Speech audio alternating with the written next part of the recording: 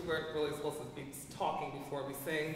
But this poem, uh, When Randa Wears Red, was written by Samori Covington, and at the time that she wrote it, I believe she was eight or nine years old. So the passion of red.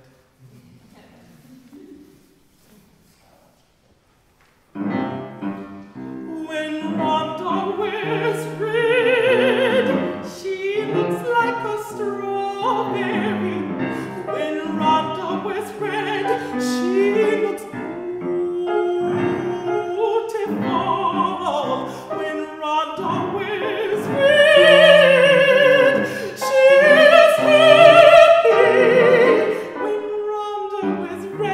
when Rondo is red, when Rondo